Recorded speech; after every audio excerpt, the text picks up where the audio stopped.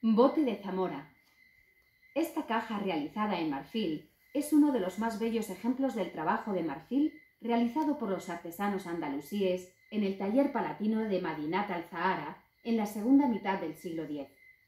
Por la inscripción tallada en elegante letra cúfica en el borde de su tapa, sabemos que fue un regalo mandado elaborar por el califa al-Hakam II para su favorita Sub, bajo la supervisión de un alto funcionario, Durri el Chico.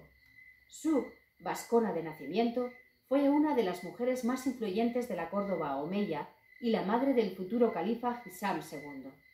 La decoración de árboles, palmas, tallos, hojas, brotes y flores estilizadas entre los cuales se tallan pavones, palomas y cervatillos afrontados, recrean los jardines palatinos y es, por tanto, un tema adecuado a la persona a la que estaba destinada esta pieza.